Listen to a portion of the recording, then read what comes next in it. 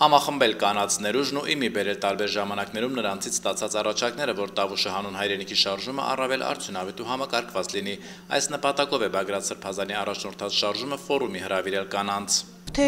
սոցիալական կայքերի միջոցով, թե կենթանի շփումով Սուրբաննայի Բաքում հանդիպումների ժամանակ, մարզային այցելությունների ժամանակ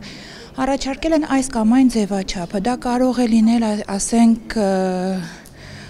ուղեղային կենտրոնի աշխատանք կամ փողոցային պայքարի առանձնահատկություններ շատ բազմազան են առաջարկները եւ մենք հասկացել ենք, որ մենք ունենք մեծ ներուժ,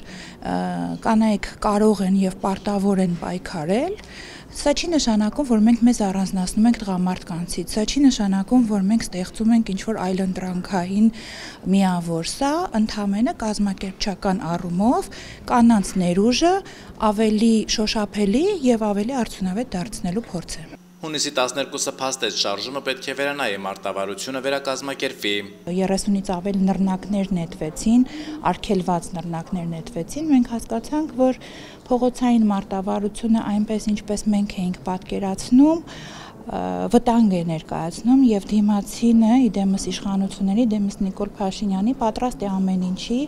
իսկ Սրբազան պայքարը պատրաստ չէ զոհերի։ Նիկոլ Փաշինյանն այս օրերին տավուշում է. Բերքաբերցների հետ էլ պետք է հանդիպի նրանց խոստացել էր հետ վերադարձնել 1200 հեկտար հողը։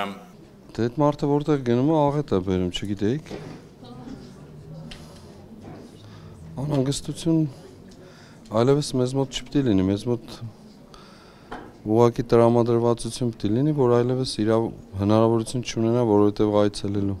Անդիմադիր պատգամավորները եւս վարչապետի Տավուշյան այցից նրա վարած պարտվողական բանակցություններից ակնկալիքներ չունեն։ Մի 1000 ոստիկանով կգնա, 2000 ախրանիկով կգնա, ԱԱԾ-ն տենց տարածքային իր ստորաբաժաններով տարածքը կմաքրի, կհավաքիմ 3-4 քպեականի տեղական, ովքեր պատրաստ են 15 րոպե լայն ժպիտով կանգնել, որպիսի TikTok-ի հերթական հոլովակը պատրաստվի եւ վերջ։ Մնացածը որոշվելու են թուրք-ադրբեջանական ղեկավարների գրասենյակներում, իրեն էլ տենց փոքրիկ տենց նամակով ծրարով կուղարկվեն հերթական հանձման ենթակա եւ հայկական զիջումների ենթակա առարկաներ ինքն էլ դրա մեծ ողջավորությամբ այդ հանձնումները կանի Ադրբեջանը այսքան ժամանակ իր զբաղեցրած որ տարածքից է ինքնակամ, հոժարակամ պայմանավորվածությունով յետ բերել։ Ադրբեջանը չէր են կողմը, որ նոյեմբերի 9-ից ստորագրել էր փաստաթուղթ, որ զորքերը կանգնում են այնտեղ, որտեղ որ այդ պահին կանգնած են հետո կարող է ես եւ դուք էինք որ Լաչինի միջանցք փակեցինք ու կյանքի ճանապարհ փակեցինք այսինքն ակնկալել Նիկոլ Փաշինյանից նույնն է որ Իլհամ Ալիևից ակնկալենք բարեգութ վերաբերմունք